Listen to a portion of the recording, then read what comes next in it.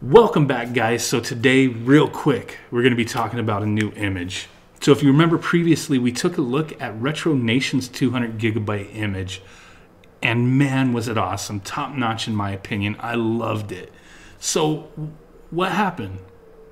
What's going on? So, just like anybody else, a lot of us, you know, do images and they get out there, and then people expand upon them, change them up, you know, base their work off of, you know, other things. So, what this is is all credit goes to Retro Nation. You know, no denying that.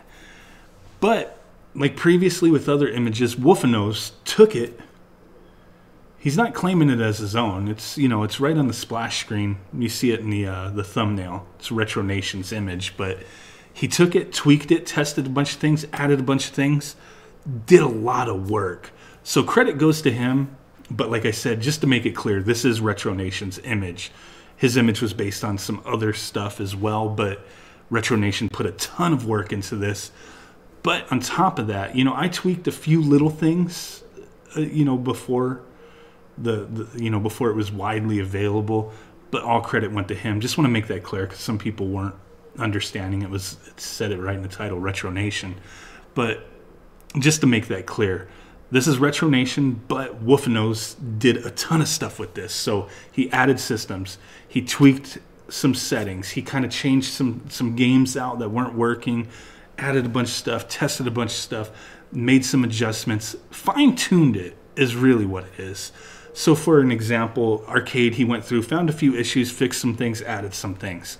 Can't go through every single little change because he did a lot of stuff.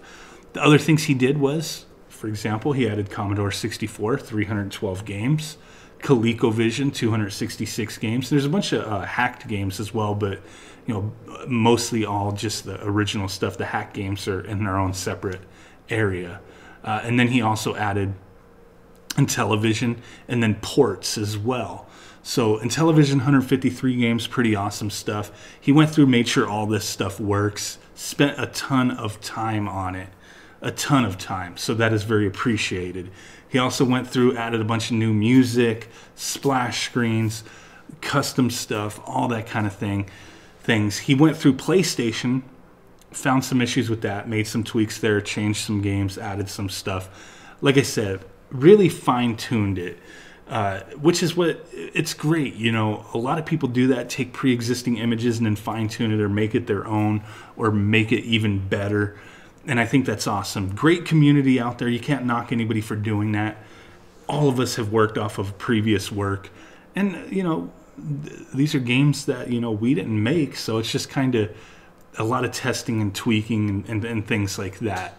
It, it is some work, but in, in reality, it's setting up an image, and hey, any of us can do it, but not everybody has time. I don't even have as much time anymore. I'm still working on the 256 gigabyte that has taken forever, but it's going to be pretty awesome.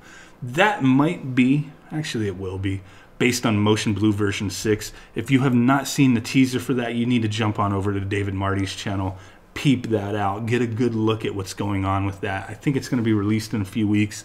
I've already got a taste of it with a little early beta testing. I think it's going to be flipping awesome. And when I do my 256, it's going to have video snaps and all that kind of stuff. I don't know how many games for sure yet, but back on what we were talking about with this. So this image, some people are like, it's 200 gigabytes. This, you know, and it doesn't have 15,000 games. And I understand that. But there's a lot of images out there that have a ton of games, and a lot of them, you know, it's full sets of systems that they don't even work, stuff like that. And this is 8,770. You might be like, well, that's crazy for 200 gigabyte. There should be 20,000 games. No, the reason this has 8, over 8,000 is because of the CD based games. There's like almost 100 PlayStation games, 100 and, uh, like 135 or so Sega CD games, a bunch of PC Engine CD games there's a ton of CD based games and they take up a lot of space. So, not a lot of images have that kind of stuff or to that degree. PC Engine CD, I don't really see that on anything.